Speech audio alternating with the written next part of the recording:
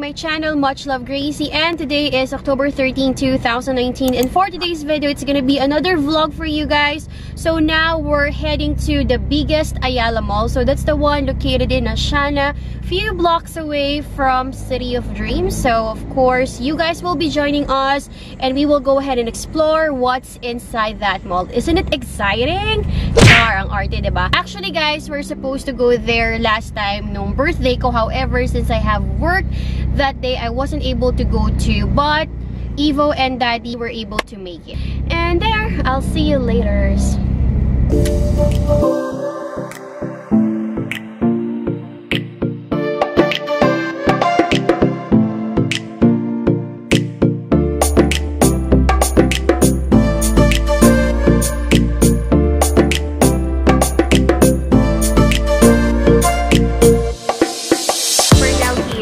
Nakapag-park na kami and in all fair, uh, maluwag yung parking and then as of now, wala pang bayad yung parking pero we don't know kung until when yun. So yun. So medyo maalikabok lang siya and parang sobrang down yung signal kasi hindi na ako nakapag-post sa Instagram ko. So later na lang ulit din siguro pag uwi.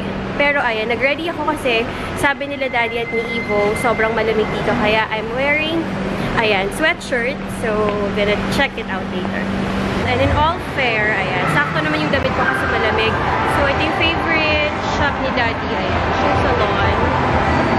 And, ayun nga pala, later, merong show si Sarah Heronimo.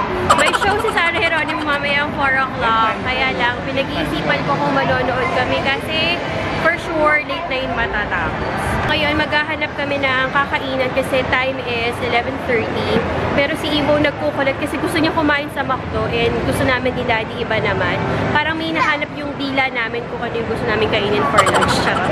So yun, first impression sa mall, ang laki. Pero konti pa lang yung mga store na open.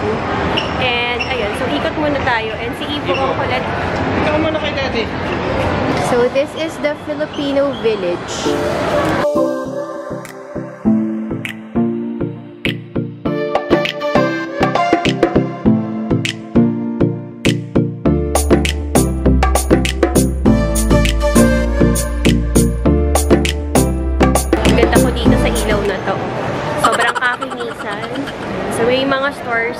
Like that. And so sarado pa siya.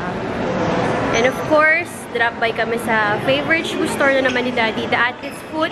And then meron daw Adidas sa dulo.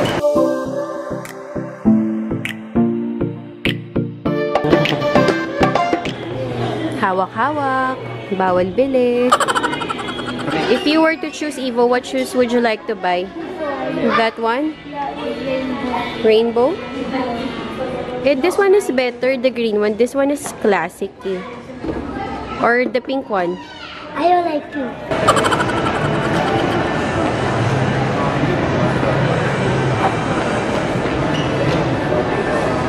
Isa to sa pinaka-favorite kong puntahan dado. Ito. Papabudol ba tayo sa Watsons ngayon? so, ayun yung Watsons na lang. Ayan. Siyempre, hindi ako magpapabudol. Bye, Watsons! So, Kids, Sperry, Skechers. Ito pala, Dr. Martens, may pinapabili si Ann dyan. Si Ann. Ay, dad, may Adidas din pala sa baba. Three.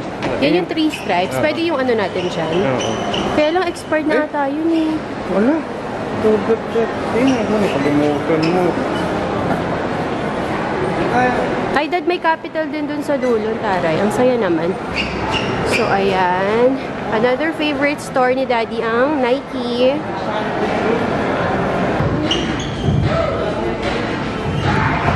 Which one? Which one do you want? Sige, piprint ko yan mamaya. Ayan, so tapos na kami dito sa second floor. Punta kami ng third floor kasi nga hanap kami ng kakainan for lunch. Pero in all fair, nakakatuwa kasi lahat ng um, shoe salon na pwedeng puntahan ni Daddy nasa isang mall na. Hindi katulad dati kailangan pa pumunta ng Uptown Mall, ng High Street, iba-iba. Pero dito, nandito na siya lahat. Nike, Adidas, Three Stripes, Sneak Peek, ano pa yung daddy? And nga pala guys, kung ako hindi ako nabudol at hindi ako na magnet ng Watson, si daddy sa Nike, muntik-muntikan na nang dadamay pa. So, dito daw kami kain sa Alley by Viking. Sabi ko, check niya kung magkano. Tapos meron din dong Tongyang. Yan, sa mga K-pop lover. Ayan, K-Town.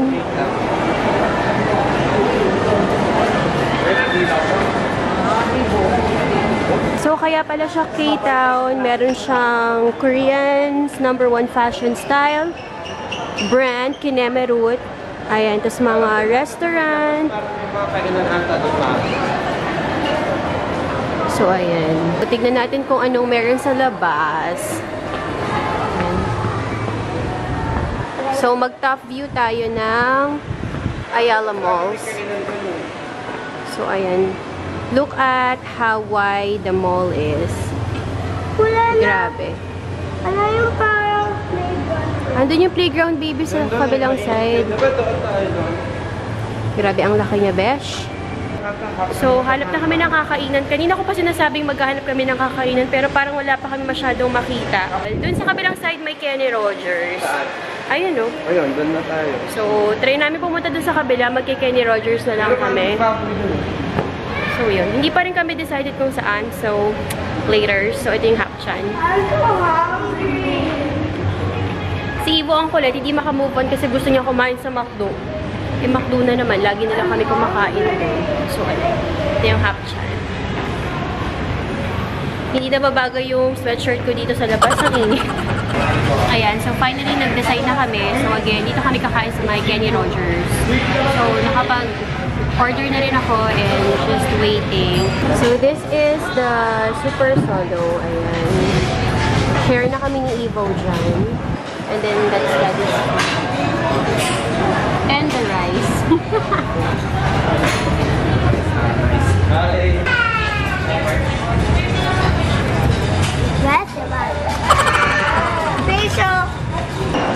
Ay, parang bet ko to dading sound stage na to. Ayan, no. Pag gusto mo mag-concert, concert ka dyan, mag-isa. Ano? So, we're back inside the mall. And si Evo natataranta na naman papuntang Toys R Us. And then, andito rin yung pinakamalaking time zone din. So, pero ayaw ni Ibong maglaro eh, boring daw. So, we'll see.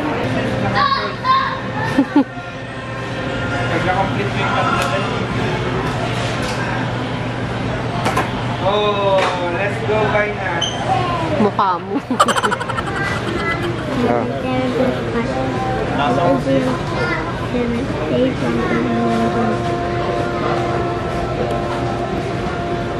late last night. I, I, I like it. And I feel I'm feeling good.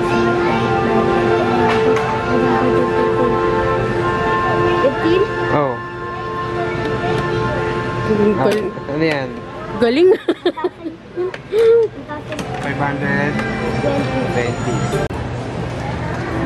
Ano, baby, nabudol ka ng Toys R Us? nabudol ka ni Kuya. Kuya, say hi!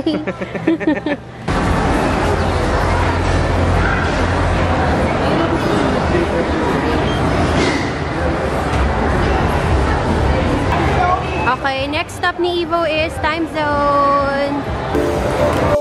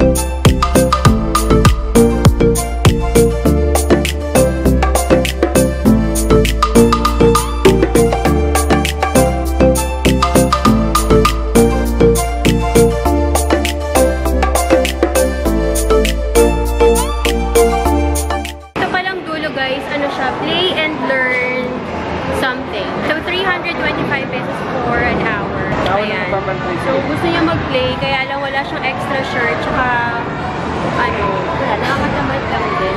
Oh my! Next time na. You got your Beyblade, don't be sad. So, ayan, ito yung Miniso. Malapit lang din siya sa time zone, then Blade. And then, ah, ito pala yung ano, ang ano, NVT, tapos andun yung Macau na milk tea. Japantown. AM, PM. Then, of course, kapag nasa Japantown, Daiso. Then, Japan Home Center. So, ayan. House of Sizzling Ramen close pa. Ayan, ang peg ng Japan, Japan. So, akit naman kami ngayon ng fifth level. So, yung fifth level nila yung cinema. So, hindi naman kami manonood, pero check na lang din natin yung area. Yan. Yung coffee bean tea leaf.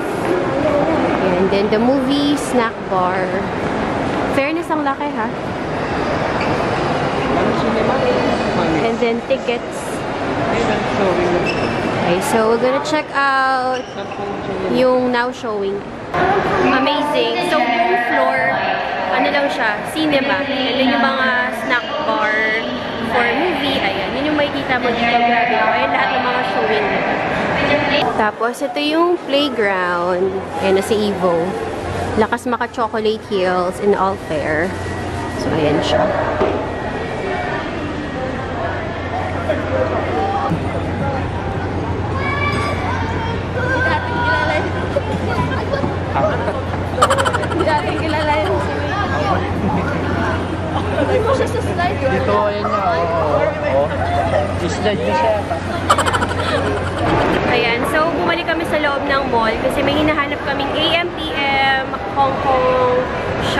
Shuffles, Pancake. So hopefully makita namin siya.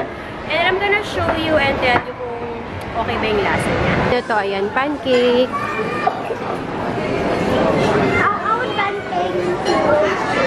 Daming tao, anak ko. Ayan, Mama Luz. So, ito yung hinahanap namin, AM, PM. So, try namin yung shuffle pancake kineme.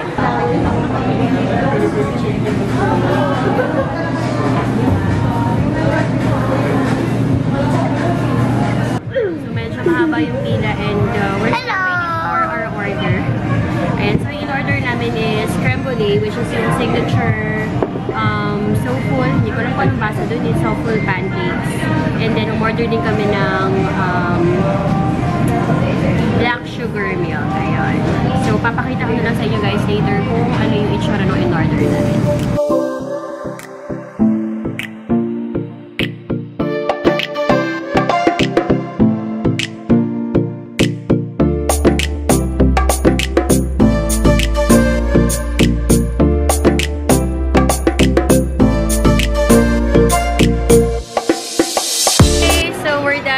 AM PM thing. So, mali ako na order. Akala ko yung pangalawang in-order ko drinks, hindi pala. So, pancake din pala siya.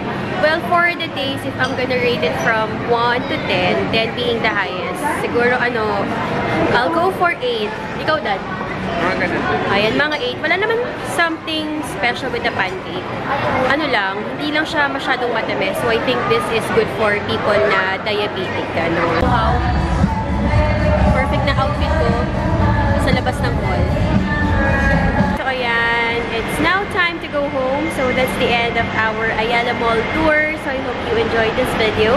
And please do not forget to like, share, and subscribe to my YouTube channel. Again, that's Much Love Gracie. And I'll see you guys on my next one. Bye!